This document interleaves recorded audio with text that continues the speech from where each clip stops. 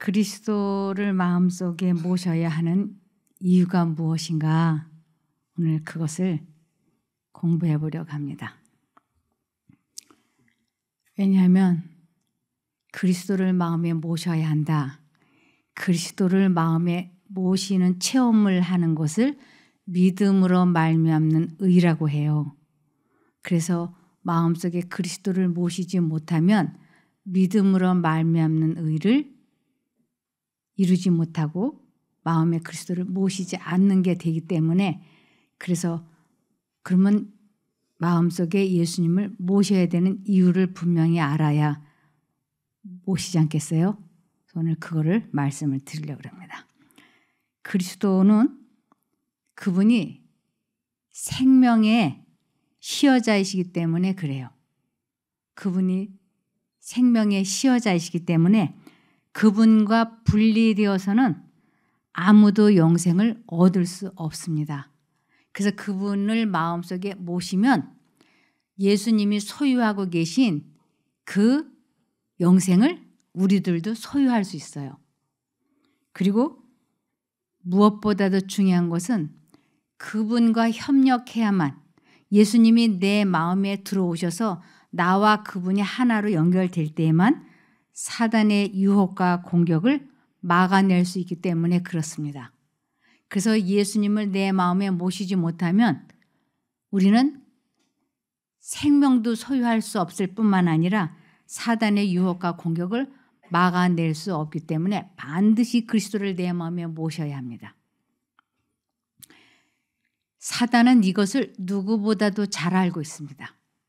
그래서 사람들에게 영생을 얻지 못하게 하려고 최선의 노력을 다하고 있어요. 그러면서 사람들의 마음 속에 그리스도가 거하지 못하게 하고 자기가 들어가려고 하는 것이에요. 그래서 사람들이 그리스도를 잊어버리고 있는 시간이 사단의 생각을 받아들이고 있다고 하는 것을 눈치채지 못하도록 사단은 사람들의 관심을 자꾸 이 세상 것 쪽으로 향하게 하면서 예수님을 마음에 모시지 못하게 극렬하게 해방을 하고 있습니다. 그래서 이 부분을 요한일서 3장 24절에 그의 계명을 지키는 자는 주 안에 거하고 그랬어요. 십계명을 지킨다라고 하는 것은 다른 말로는 사람으로서는 십계명을 지킬 수가 없어요. 그런데 어떤 사람은 이 십계명을 지키느냐? 예수님을 마음에 모신 사람은 이 십계명을 지킬 수가 있어요. 그래서 그의 계명을 지키는 자는 주 안에 거하고 주는 그의 안에 거하시나니 그랬어요. 하나님을 내 안에 모시면 하나님이 나로 하여금 계명을 지킬 수 있게 해 주시는 것이에요. 그래서 하나님과 내가 같은 능력을 그분이 주시는 은혜를 주고 받는 관계가 된 것을 그의 계명을 지키는 자는 주 안에 거하고 주는 그의 안에 거하시나니 우리에게 주신 성령으로 말미암아 그가 우리 안에 거하시는 줄을 우리가 아느니라 그랬어요. 내 안에 그리스도가 거하시면 내 안에 계신 그리스도가 아버지 하나님의 뜻에 순종을 할 수 있게 해주시는 거예요. 그런데 내 안에 예수님이 들어와 살지 않으면 나는 절대로 아버지 하나님의 뜻에 계명에 순종이 불가능한 거예요. 그래서 그리스도인의 삶에서 성령의 존재는 하나님이 그 안에 거하고 있다는 증거가 되는데 이는 하나님이 사람 안에 거하는 것은 성령을 통해서이기 때문이다. 그래서 성령 하나님이 내 안에 거하신 거나 아버지 하나님이 내 안에 거하신 거나 예수님이 거하시는 거나 똑같은 거예요. 그래서 로마서 8장 9절에 그러나 하나님의 영이 하나님의 영 이것은 성령이에요. 그래서 그러나 하나님의 성령이 너희 안에 계시면 너희는 육체 안에 있지 않고 그래서 이 육체 안에 있다라고 하는 것은 하나님과 분리되어 있는 하나님의 영이 그 속에 없는 사람을 육신 육체라고 그래요. 그런데 하나님의 영이 그 안에 계신 사람은 너희는 육체 안에 있지 않다. 왜냐하면 너희 안에 성령이 거하시다 이런 뜻이에요. 그래서 너희는 육체 안에 있지 않고 성령 안에 있다. 누구든지 그리스도의 영이 없으면 마음에 그리스도를 모시지 않으면 그리스도의 사람이 아니다. 라고 하는 거예요. 그래서 마음에 그리스도가 계신 것을 믿음이라 그러는데 구원은 무엇으로 구원을 받느냐? 믿음으로 구원을 받는다 그러는 거예요.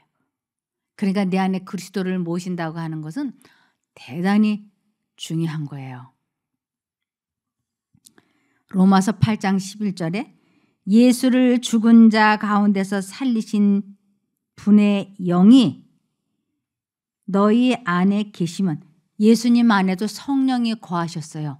그래서 예수님을 살아나게 하셨던 분이 아버지 하나님이셨고 아버지 하나님이 예수님 마음속에 있게 하신 성령이 예수님을 살려내셨던 거예요. 그러니까 내 안에 성령을 모시면 예수님을 모시면 생명의 시여자이신 영생을 소유하신 분이 내 안에 계신데 내가 무덤 속에 있어요. 그럴 때 예수님이 이 세상에 오셔서 일어나라 그러면 내 속에 있는 성령이 나와 함께 일어나시는 거예요. 그러니까 내 안에 성령이 과시지 않으면 못 일어나는 거예요. 여기 지금 그 말씀이에요.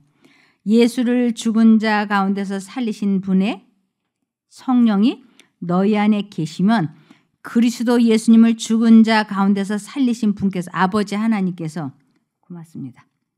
너희 안에 계시는 그분의 성령으로 말미암아 너희의 죽을 몸도 살리실 것이다. 그러니까 내 안에 그리스도를 모시고 죽었다. 그러면 이것을 잠잔다라고 표현을 해요. 그리고 예수님이 재림하시는 그날 그 영이 과신 사람들만 깨워서 데리고 가는 거예요. 그래서 로마서 8장 14절에서 16절에 성령님의 인도를 받는 사람은 다 하나님의 아들들입니다.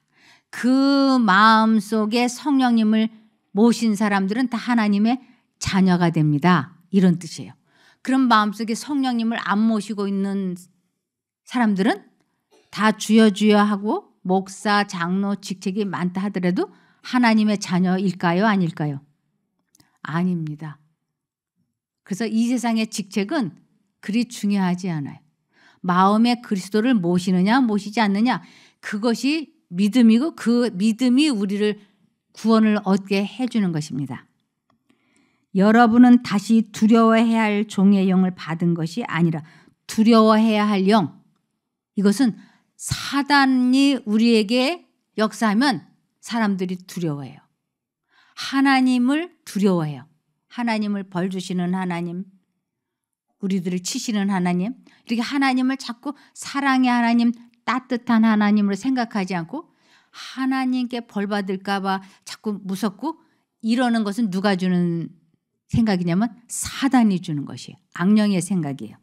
그래서 이것을 여러분은 다시 두려워해야 할 종의 영을 받은 것이 아니라 종 사단의 영을 받은 것이 아니라 하나님의 아들이 되게 하는 성령을 받았습니다. 하나님의 양자, 하나님의 아들이 되려면 반드시 그리스도를 마음에 모셔야 되는 것이에요. 이것을 산 믿음이라고 그러고 참 믿음이라고 합니다. 그래서 우리는 구원을 무엇으로 얻느냐? 참 믿음, 산 믿음으로 구원을 받는 것입니다. 그냥 이 성경 말씀을 다 읽고 이해하고 깨달았다고 해서 지식적인 그 지식이 믿음인 줄 알고 아, 나 다 알아. 이 성경 다 알아. 나는 구원 받았어. 라고 말할 수 없는 것입니다. 그래서 하나님의 아들이 되게 하려면 성 여기 하나님의 아들이 되게 하는 성령을 받았습니다. 그래서 우리는 성령님을 통해 하나님을 나의 아버지라고 부릅니다. 마음에 그리스도를 모시는 것, 성령님을 모실 때야 하나님과 우리가 진정한 뭘 가질 수 있느냐면 관계를 가질 수가 있어요. 바로 그 성령님이 우리 영과 우리 마음과 함께 우리가 하나님의 자녀라는 사실을 증거하십니다. 그러니까 반드시 우리 마음에 성령님을 모셔야만 영생을 소유할 수 있어요. 근데 이것이 안 되고 있으면 우리는 하나님의 자녀가 아니에요. 이것을 또한 요한복음 1장 12절에서 13절에 보시면 그러나 누구든지 그분을 영접하는 자들 그분 성령님 예수님을 영접하는 자들 곧 그분의 이름을 믿는 자 그랬어요. 예수님을 내 마음에 영접했다 모셨다 이것을 믿음이라고 그래요. 그러니까 여기 그분을 영접하는 자들 곧 그분의 이름을 믿는 자들에게는 하나님의 자녀가 되는 권세를 주셨다고 말씀을 하세요. 제가 이것을 자꾸 이렇게 강조를 하고 또 강조를 하는 것은 지금 믿음으로 말미암는 의가 뭐냐 해가지고 유튜브에서 얼마나 많은 사람들이 이런 설교 저런 설교 하는지 몰라요. 우리 교회 재단에서도 그렇고 다른 교파에서도 그렇고 그런데 마음에 그리스도를 모시지 못하고 있기 때문에 이것을 체험해보지 못했기 때문에 많은 사람들이 이렇게도 설명하고 저렇게도 설명하고 그러는데 사람들이 많이 헷갈려 있어요. 그래서 제가 이 성경과 영감의 글을 가지고 자꾸 반복해서 알려드리는 거예요. 그래서 아, 내 안에 그리스도가 계시지 않다. 이것을 인정하기가 참 힘이 들어요. 왜냐하면 그것은 괴로운 일이니까. 그런데 내 안에 그리스도가 성령이 과하시지 않다라고 하는 것을 인정을 하게 되어야 새로 시작해야 되겠다는 생각을 할 수 있어요. 내가 다시 시작하자. 이렇게. 그래서 다시 하나님과 관계를 갖고 예수님을 내 안에 모시게 될 때 우리는 새 생명, 거듭남을 경험할 수 있습니다. 여기에 그러나 누구든지 그분을 영접하는 자들 곧 그분의 이름을 믿는 자들에게는 하나님의 자녀가 되는 권세를 주셨으니 그들은 혈통에서나 육체의 뜻에서나 사람의 뜻에서 나지 않고 하나님께로서 난 자들이다. 하나님의 참자녀가 되는 것은 사람의 몸에서 태어난다고 해서 이스라엘 민족으로 태어난다고 해서 아브라함의 자손으로 태어난다고 해서 되는 것이 아니고 무엇으로만 되느냐 하면 마음에 예수를 모시는 것으로부터 시작이 되는 것입니다. 그러면서 고린도전서 3장 16절에 너희가 하나님의 성전인 것과 하나님의 성령께서 너희 안에 계시는 것을 알지 못하느냐? 너희가 하나님의 성전인 것과 하나님의 성령께서 너희 안에 계시는 것을 체험해 보지 못했느냐? 그거예요. 아, 내 안에 그리스도가 계신 것을 내가 체험해 봤나? 그리스도가 내 안에 성령이 내 안에 거하신다면 무슨 일이 일어나느냐면 내 감정 조절이 되는 거예요. 내 마음이 다스려지는 거예요. 그러면서 내 마음이 참 평안해요. 그러면서 치료가 급속하게 되는 거예요. 그러면서 무엇보다도 사람을 사랑할 수 있게 되는 것이에요. 과거에는 저 사람이 너무너무 보기 싫고 미웠는데 하나님이 내 안에 거하시면 그 사람의 언행이 이해되어지고 그 사람이 불쌍하고 그 사람이 사랑스러워지기 시작을 하는 거예요. 이것은 사람의 마음으로는 도저히 할 수 없는 일이에요. 그래서 왜 성경에 자꾸 예수의 마음을 가져라 그리스도를 마음에 모셔라 이러는가? 이게 언제부터 이러한 성경 말씀이 내려져 왔는가? 써져 있는가? 이것은 아담과 하와가 하나님의 손에서 창조되었을 때는 그들의 마음은 예수님의 마음이었어요. 예수님은 하나님이시잖아요. 그래서 그들은 하나님의 마음, 신의 성품의 사람들이었어요.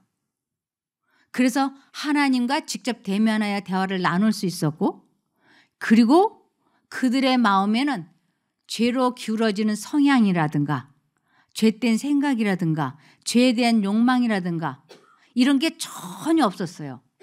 그냥 하나님의 마음이었어요. 예수님의 마음이었어요. 그래서 그들은 하나님의 말씀에 십계명에 그냥 순종할 수 있었던 거예요. 그래서 아담과 하와가 하나님 손에서 태어나고 나서 죄 짓기 전까지의 사고방식은 우리의 사고방식과는 너무 달랐어요. 그들의 마음에는 잡념이 없었어요. 그들의 마음에는 두 가지 생각이 없었어요. 오직 하나의 생각만이 존재했는데 그것은 예수님의 마음이었어요.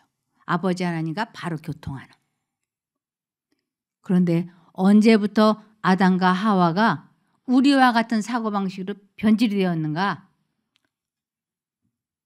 아담과 하와가 선악과를 따먹으면서 죄를 지으면서 바로 하나님의 마음을 잃어버렸어요. 그 본래 가지고 있었던 본래의 마음이 하나님의 마음이 사라져 버렸어요. 그리고 그때부터 사단의 생각이 아담과 하와의 마음속에 들어갔던 거예요. 그것이 오늘날 우리에게도 똑같이 하나님의 생각과 사단의 생각이 똑같이 들어오고 있는 거예요. 그러니까 예수님이 이 세상에 오셔서 사람들에게 너희가 잃어버린 그 본래의 마음을 찾아야 돼. 그 천국에 가려면 아담과 하와가 잃어버렸던 그 본래의 마음을 회복을 해야 천국에서 저 천사들과 우주거민과 하나님과 같이 살 수 있어. 사람의 마음으로는 같이 살 수 없어. 그래서 예수님이 이 세상에 오셔서 너희 안에 이 마음을 품으라 곧 그리스도 예수의 마음이니라 하라고 하는 것이. 잃어버렸던 본래의 마음은 하나님의 마음인 거예요. 하나님과 같이 생각하고 하나님과 같은 마음을. 그래서 예수님을 내 안에 모신다고 하는 것은 내가 신의 성품에 참여하는 것이고 예수의 마음을 품는 것이기 때문에 이것이 너무너무 중요하기 때문에 하나님은 계속 우리들에게 예수님을 성령을 마음에 모시는 것이 구원을 이룬다라고 가르쳐 주고 있는 것이에요.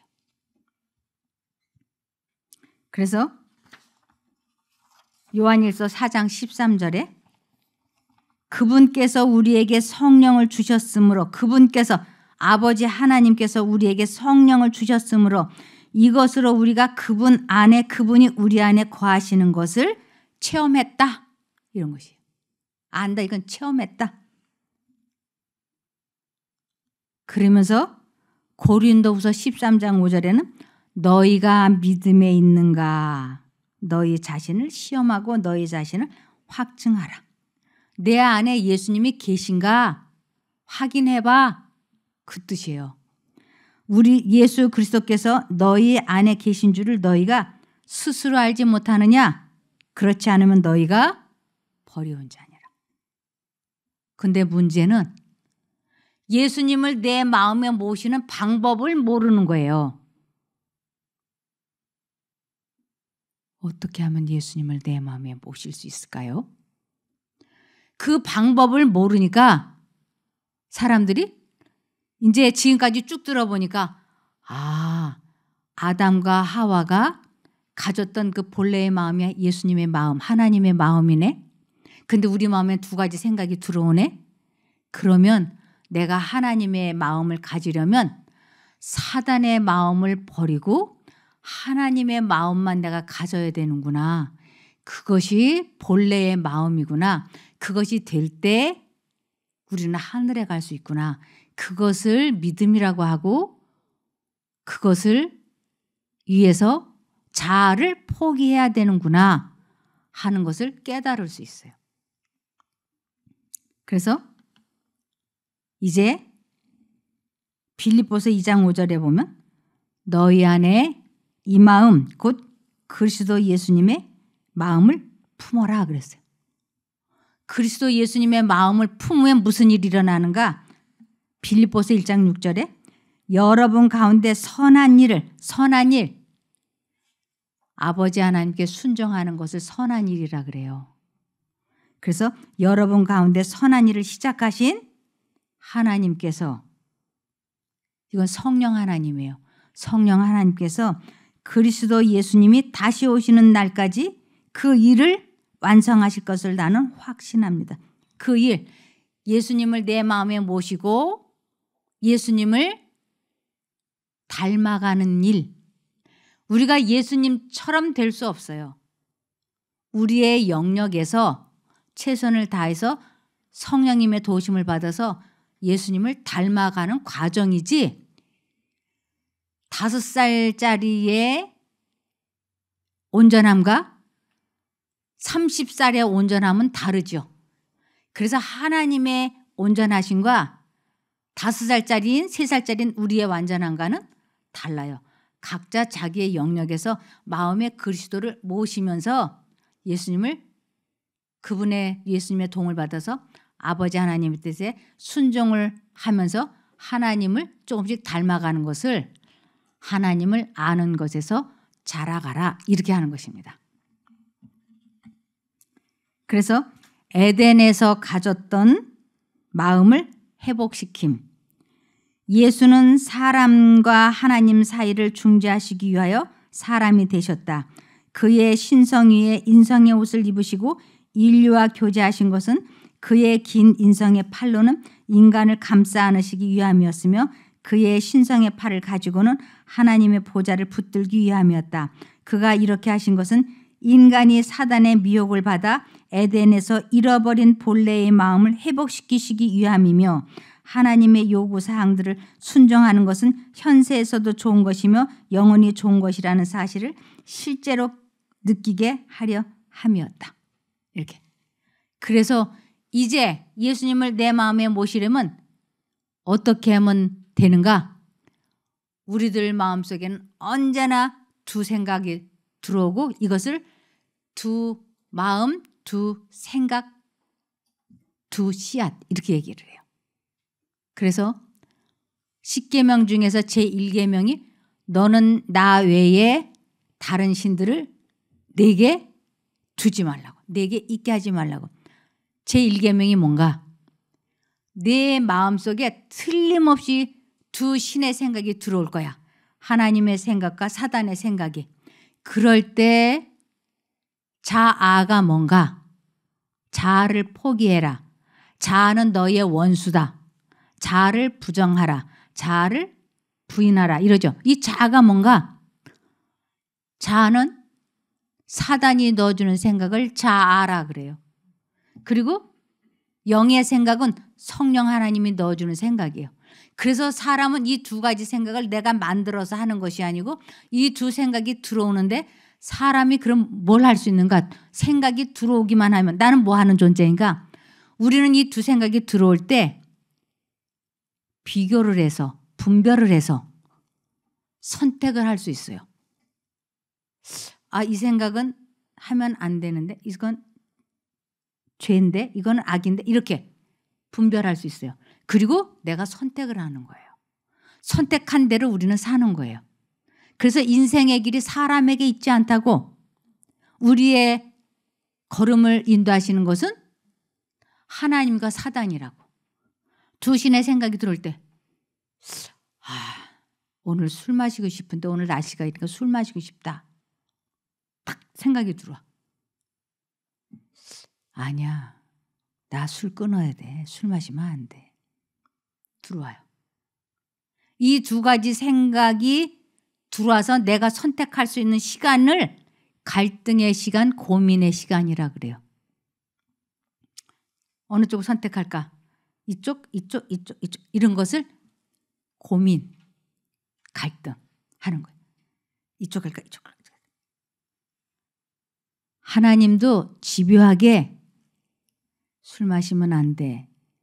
전번에 술 마시고 음주운전해서 죽을 뻔 했잖아. 술 마시면 안 돼. 그리고 전번에도 술 마시고 사고 쳤잖아. 안 돼, 안 돼. 사단은 아니 내가 술을 많이 마시겠다는 게 아니고 그냥 한 모금 살짝 이렇게 맛만 봐, 맛만 봐. 아니야. 그래가지고 전번에도 맛만 본다가 했다가 소주 열 잔 마셨잖아. 아니, 그러면 이번에는 우리가 뚜껑을 열어가지고 냄새만 맡아봐, 냄새만. 그러다가 전번에도 마셨잖아. 그러면 안 돼. 이렇게 두 생각이 들어요.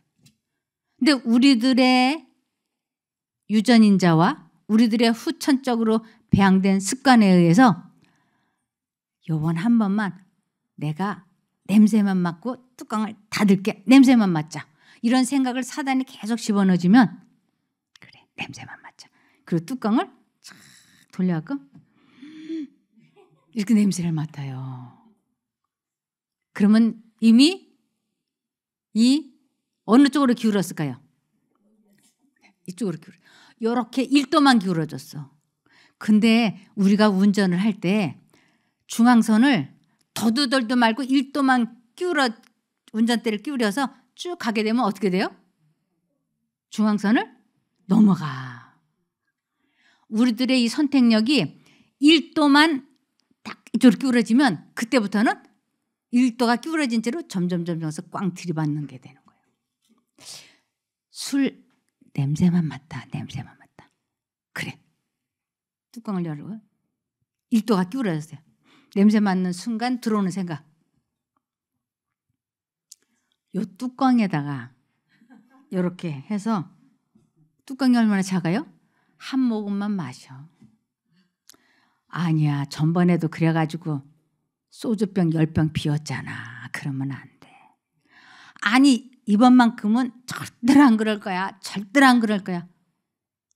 근데 이미 어디로 기울어졌어요? 일도가 이쪽으로 기울어졌어. 그래서 한 모금을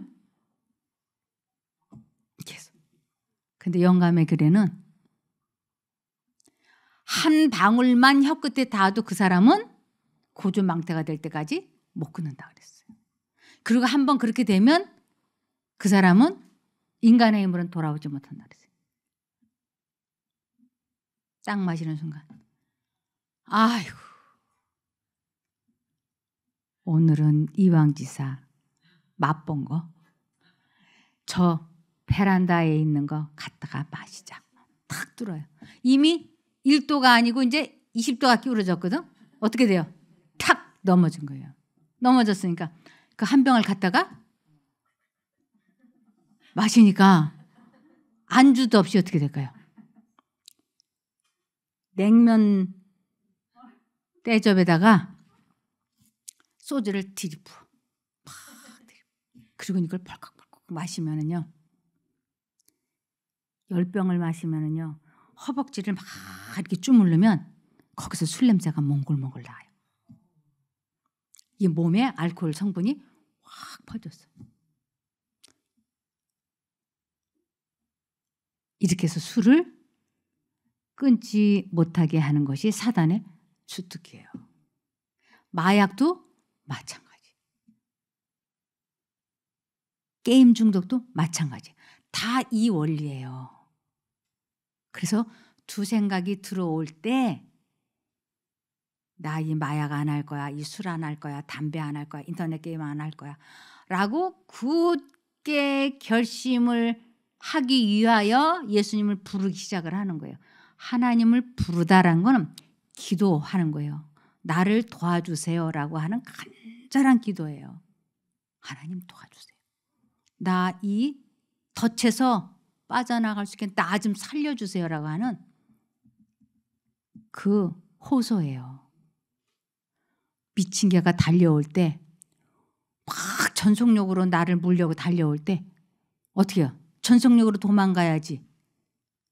엄마 부르면서 어머머 이 개가 나 물려가네 어머머 이래요? 그런 멍청이는 세상에 없어요. 전속력으로 도망가죠. 술 마시고 싶어. 마약하고 싶어. 화토하고 싶어. 뭐 하고 싶어. 뭐 하고 싶어. 생각이 막 치고 들어올 때 미친 개가 달려오는 속도보다 더 빨라. 빛의 속도로 돌아. 그럼 어떻게 돼? 나도 그 속도로 도망가야 돼. 그래서 예수님을 쉬지 말고 기도하라는 게 끊임없이 기도하는 게 바로 그럴 때 사용하는 거예요. 예수님, 예수님. 전속력으로 예수님을 부르면 내가 술을 안 마시겠다고 딱 결심이 쓰는 순간 자아가 포기되었다. 내가 죽었다. 나를 부정했다. 자신과의 싸움에서 이겼다 그러는 거예요. 그래서 내 결심이 딱 쓰는 순간 하늘에서 능력이 촥 들어와서 나를 그 생각에서 욕망에서 야망에서 건져 주시는 거예요. 이것을 체험하는 것을 하나님을 만났다. 하나님을 보았다. 하나님의 선하심 맛보았다. 하나님을 믿는다. 하나님을 안다, 사랑한다. 이렇게 여러 가지라는 거죠. 이것을 체험하는 것을 믿음으로 했기 때문에 예수님을 불러서 그 마음에 그분이 들어오셔서 했기 때문에 이것을 믿음으로 말미암는 의라고 하는 것이에요. 예수님의 품성을 의라 그래요. 예수님이 내 안에 들어오시면 그분의 품성이 내 안에 형성되잖아요. 재현되잖아요. 이것을 믿음으로 말미암는 의라고 하는 거예요.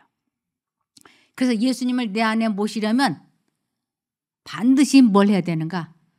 자아 포기를 해야 되는 것이에요. 자아가 뭔가 사단이 주는 생각을 자아라 그래요. 그래서 이 자아는 하나님과 뭐가 된다고요? 원수가 되는 거예요. 하나님의 생각과 사단의 생각은 우리 마음속에서 아주 원수가 되고 있는 것이에요. 그래서 예수님도 우리하고 똑같은 방법으로 승리하셨어요. 어떻게 했냐면 요한복음 14장 10절에서 11절에 보면 내가 아버지 안에 있고 아버지께서 내 안에 계심을 내가 믿지 않느냐. 예수님도 예수님 안에 아버지 하나님의 성령을 모셔서 그 성령에 의하여 사단과 싸워서 이길 수가 있었던 거예요. 내가 너희에게 하는 말들은 내 스스로 하는 것이 아니라 아버지께서 내 안에 계시면서 그분의 일들을 하신다. 그분의 일들이 뭔가 사단의 생각을 물리쳐 주시는 것이 하나님의 일이에요. 그래서 하나님께서 사단의 생각을 우리 속에서 물리쳐 주시면서 아버지의 뜻에 순종을 할 수 있도록 도와주시는 것이 하나님의 선하신 일이에요. 내가 아버지 안에 있고 아버지께서 내 안에 계심을 믿어라. 그렇지 못하겠거든 내가 하는 그 일들을 인하여 믿어라. 예수님이 무슨 일을 하셨는가?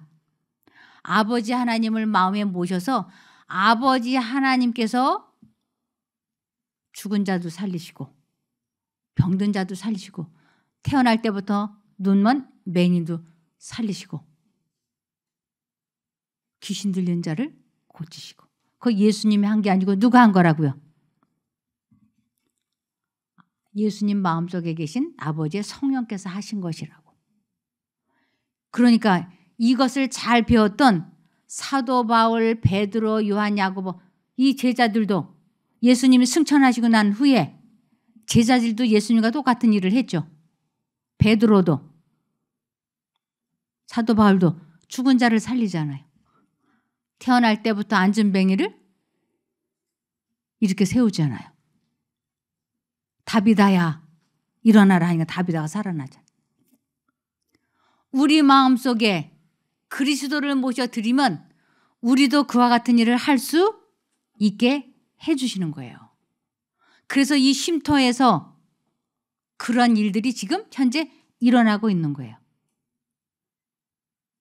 이 말씀을 저희가 전하고 여러분 마음속에 그리스도를 모셔드리는 체험을 하게 될 때 우리 모두에게는 기적들을 경험하지 않았어요? 암이 고쳐지고 마음이 평안해지고 그때나 지금이나 원리는 동일해요. 내 안에 누구를 모시면 하나님을 모시면 예수님을 모시면 똑같은 일이 되는 것입니다. 그러므로 나와 아버지는 하나이니라 하고 예수님이 말씀하셨어요. 왜냐하면 아버지 하나님이 예수님의 마음에 생각을 넣어주시고 예수님은 아버지 하나님의 뜻대로 살았기 때문에 아버지와 예수님은 하나였어요. 그러면 아버지 하나님이 예수님에게 생각을 넣어주시고 예수님이 그 생각을 내 마음에 넣어주셨을 때 내가 그 생각을 선택을 하면 아버지 하나님과 예수님과 성령 하나님이 나와 하나가 되죠. 그리고 내가 이것을 여러분들에게 전해줘서 여러분들도 그렇게 하면 여러분과 나는 하나가 되죠. 그래서 여기에 그 말씀을 하시는 거예요. 갈라디아서 3장 28절에 너는 너희는 유대인이나 헬라인이나 한국인이나 종이나 자유인이나 남자나 여자나 다 그리스도 예수 안에서 하나이니라. 그래서 예수님이 여러분 마음에 내 마음속에 거하시면 우리는 다 똑같은 성령에 의하여 하나가 되는 거예요. 그러기 위해서는 뭘 해야 되는가? 자아 포기를 해야 되는 것이. 우리의 원수 자아를 포기하게 될 때 우리 안에 그리스도의 영을 모실 수가 있게 되는 것입니다. 그래서 우리는 우리에게 하늘의 마음을 갖게 하는 모든 것을 가지고 있지 않는가? 하늘의 마음, 예수의 마음을 갖게 하는 모든 것을 가지고 있지 않는가? 우리 이것을 이제 배워서 다 알아요. 우리는 세속적인 것과 유격적인 것, 천하고 무의미한 이야기, 희롱하는 말과 농담, 거짓 소문과 수다와 악한 추측들로부터 본래의 상태로 바로잡을 수 있는 모든 것을 가지고 있지 않는가? 우리는 농담이나 거짓 소문과 수다와 악한 추측들로부터 벗어날 수 있는 방법을 모든 것을 가지고 있지 않는가? 가지고 있죠. 예수님만 내 마음에 모시면 우리는 희롱하는 말과 농담, 거짓 소문과 수다와 악한 추측들로부터 벗어날 수 있는 거예요. 왜 내가 이러한 행동을 하는가? 하나님과 분리되어 있으니까. 그래서 이 사람이 하나님의 사람인지 아닌지 뭘 보면 알 수 있다고요? 열매. 그의 입술에서 나오는 열매를 보면 아, 이 사람이 하나님과 연합되어 있는지 우리는 바로 알 수 있다는 것이에요.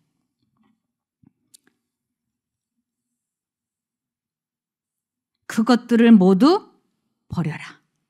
그것들은 교회에 불명예스러운 것이다. 그것들은 교회를 약화시키고 세약하게 한다. 예수 그리스도와 그의 임재하심, 하나님의 마음이 제하여졌던 본래의 자리에 다시 임하시는 것이다.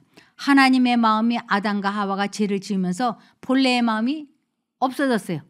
그런데 이제 우리의 마음에 그리스도를 다시 모시면 잃어버렸던 마음을 도로 찾는 거예요.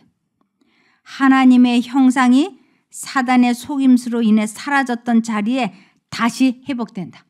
사단으로 인하여 우리들의 마음이 악했었는데 예수 그리스도를 모시면 사라졌던 자리에 다시 회복된다고.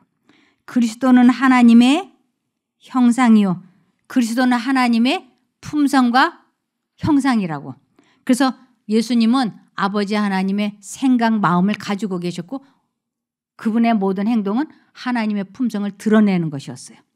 하나님의 구체화된 형상이므로 우리가 그의 충만하심 안에서 예수 그리스도를 받아들일 때 하나님의 형상이 본래 있던 그 자리로 회복되어진다. 그래서 우리 안에 예수님을 모시면 아담과 하와가 잃어버렸던 본래의 마음을 우리는 회복해서 가질 수 있게 되는 것입니다. 그렇게 되기를 바라며 말씀을 마치겠습니다. 기도할까요? 하늘에 계신 저희들의 아버지 하나님,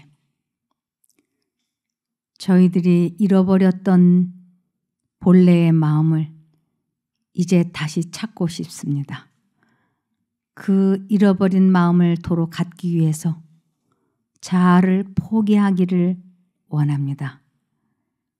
주님을 잊어버리고 있을 때 주님께서 주님의 이름이 마음속에 생각나고 기억나게 해주시기만 하면 저희가 주님을 마음에 모시기 위하여 주님을 선택하겠습니다.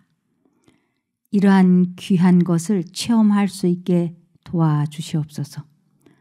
다시 저희들에게 기회를 주시고 체험해 보게 하여 주시기를 예수님 이름으로 기도드리옵나이다. 아멘. 감사합니다.